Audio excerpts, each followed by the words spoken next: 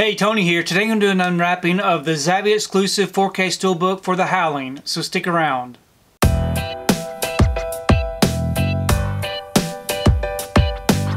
So today I received my order for The Howling. This is a Zavvi exclusive Steelbook featuring the 4K Ultra HD and the Blu-ray.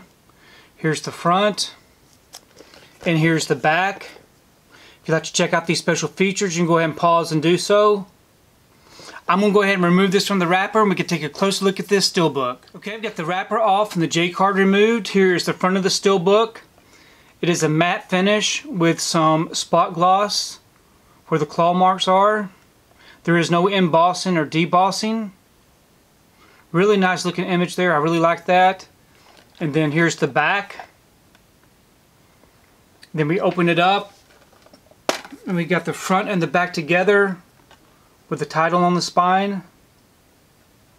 And then on the inside we do have our two discs. We've got our 4K disc here in white. And we have a Blu-ray disc which is region B locked. And then we do have some inside artwork. Kind of hard to see with the glare. But overall this is a beautiful looking steelbook. So I've gone ahead and I placed this steelbook inside this protective bag. Now this bag will help keep the steelbook from getting scuffed up on the shelf up against my other steelbooks. I do have an affiliate link down below where I purchased these bags off of Amazon if you're interested in checking that out. I also wanted to take time to show you the um, Scream Factory release that I have with this really nice looking artwork on the cover. Um, it's been a very long time since I've seen this movie, so I'm definitely um, looking forward to checking this one out in 4K. Please leave me a comment below. Let me know what you think about this particular Steelbook release, and also let me know what you think about the movie The Howling. I really do enjoy reading your comments.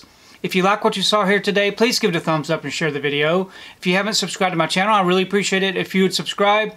If you do subscribe, please remember to hit that notification bell so that you can be notified every time I upload a new video. If you haven't found me on my social media accounts, I'm on Facebook, Twitter, Instagram, and on TikTok. And if you'd like to find out what I've been watching, you can find me over on Letterboxd. I do have links below. But thanks again for watching, and we will see you next time.